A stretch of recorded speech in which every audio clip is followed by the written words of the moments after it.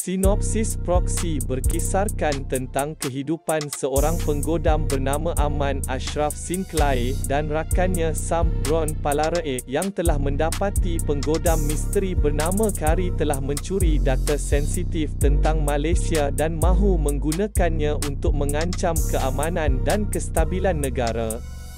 Aman dan Sam berusaha menyelamat data dan maklumat rahsia negara itu